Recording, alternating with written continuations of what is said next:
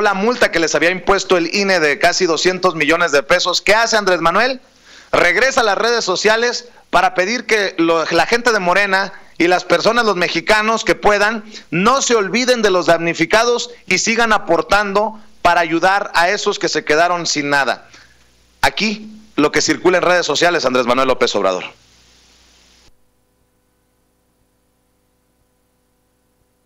Lo tenemos, lo teníamos ayer, ¿no, Toño? Eh, desafortunadamente, eh, le acabo de tirar una curva a Toño, porque es de los videos que le íbamos a presentar precisamente ayer de Andrés Manuel López Obrador, pidiendo el apoyo a la gente de Morena y a los mexicanos que puedan para que apoyen a los damnificados a casi un año de los sismos del 19 de septiembre.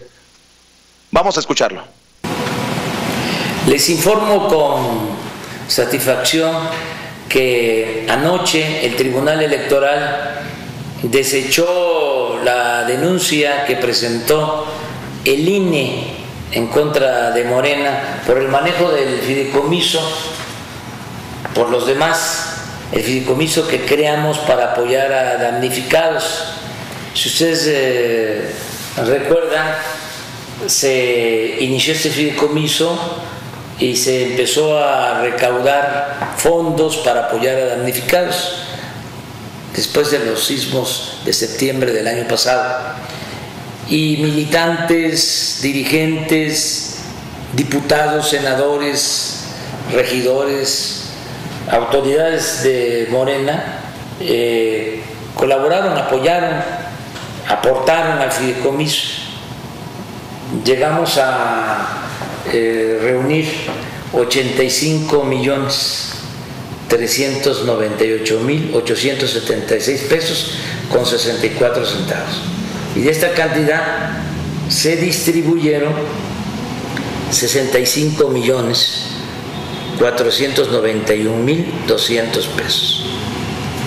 Y se entregó este dinero, estos 65 millones, a 27 mil 288 damnificados.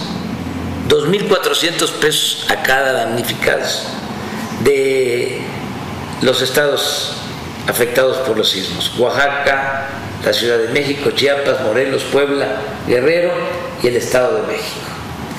Y cuando eh, nos sanciona el INE, se tenían en caja 19 millones 907 mil 676 pesos con 64 centavos para entregarlos a otros eh, damnificados, a 8.295 damnificados más y de esa manera llegar a 35.583 damnificados con este beneficio.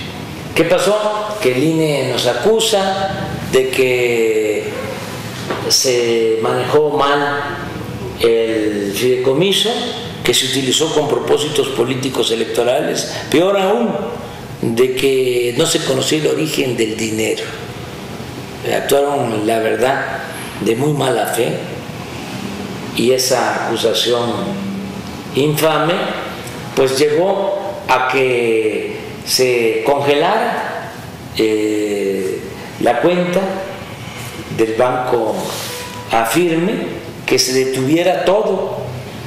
Tuvimos que acudir al tribunal y anoche, repito, ya los magistrados del Tribunal Electoral, por unanimidad, desecharon la denuncia del INE que incluía una multa de alrededor de 200 millones de pesos.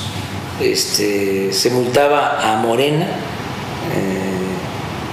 por esa cantidad.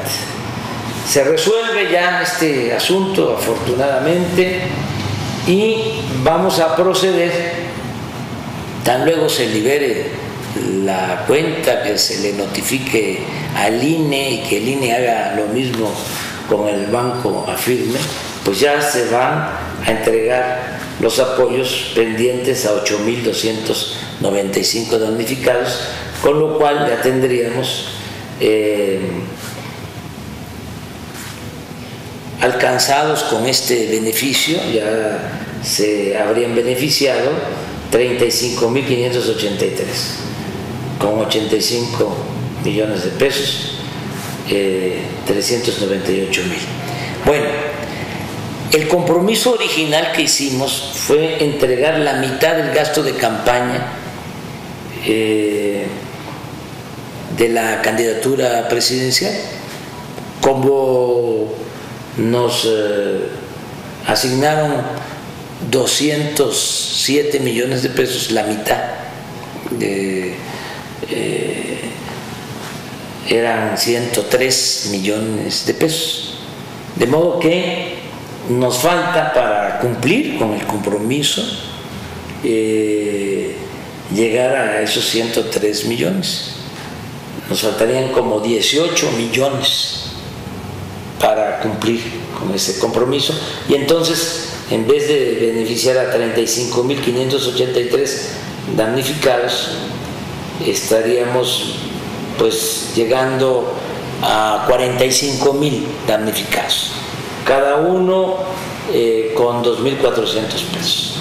Entonces yo aprovecho para que todos los militantes, simpatizantes de Morena y ciudadanos en general que quieran ayudar, que eh, podamos eh, reunir la cantidad que se propuso inicialmente.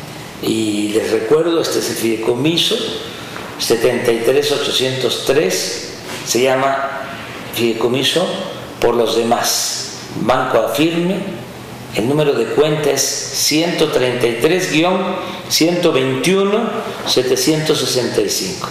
En cualquier sucursal de banco afirme. Hay que dejar pasar unos días, repito, porque van a notificar, pero eh, considero que para la semana próxima, a mediados de la semana próxima, ya se va a poder eh, depositar.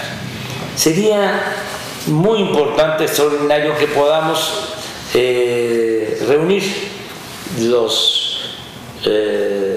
18 millones que nos faltan antes del 19 de septiembre, antes de que se cumpla un año de estos sismos que causaron dolor y pérdida de vidas humanas y que podamos nosotros este, cumplir con nuestro deber. Estar Ahí están las palabras de Andrés Manuel López Obrador. Y Toño, después de que estamos analizando y viendo lo que dijo ayer Enrique Peña Nieto, después de ver eh, a lo que se dedica Andrés Manuel López Obrador, que pareciera abismalmente diferente a un presidente Enrique Peña Nieto que dice que todo va viento en popa, casi casi dice que vivimos en un país de primer mundo. Yo pregunto, después de ver las imágenes también en el aeropuerto, si Enrique Peña Nieto va a poder aspirar a este trato con la gente, a que la gente cuando lo vea en un aeropuerto, cuando lo vea en la calle, se le acerque, así como se le acerca a Andrés Manuel López Obrador. No sé si ya viste las imágenes, pero siguen repitiéndose estas imágenes de un rockstar en los aeropuertos, en donde la gente hasta fila hace para tomarse la foto con el presidente electo de México, Andrés Manuel López Obrador. Que como cualquier hijo de vecino, está esperando en una sala del aeropuerto y mientras espera pide una torta de lomo, ¿no? Eso, eso es exactamente eso, ¿no? vamos, la cercanía con la gente. Enrique Peña Nieto no va a poder hacer eso. ¿Quién puede hacer, eh, vamos, mandar llamar traer desde Los Ángeles, California, desde Hollywood, California, al tatuador de las estrellas eh, y pagarle 500 dólares por tatuaje pequeñito para que tatúe a sus hijas. ¿Quién puede comprarle zapatos Gucci a sus hijas hijastras? ¿Quién puede mandar a su esposa? La gaviota. Toño, Toño, la gaviota, acuérdate que era exclusiva de Televisa y y había mucha lana de por si le, le, le, nótese mi sarcasmo, ¿no? Le alcanzó hasta para comprar la Casa Blanca, Toño. bien lo sabe el señor Juan Armando Hinojosa, ¿no? Pero el, eh, vamos, o sea, es que quién va, quién, puede compararse con eso. Uno se puede comparar con un señor este, de la tercera edad que se está comiendo su torta de lomo, pero no se puede comparar con un payaso de, de copete que, que, no sabe distinguir entre ciudades y estados, que comete errores gramaticales constantes, que no tiene ni idea de geografía, que no tiene ni idea de la vida, que es un ignorante de la vida. Me refiero a Enrique Peña Nieto. No, no nos podemos comparar con él tal vez.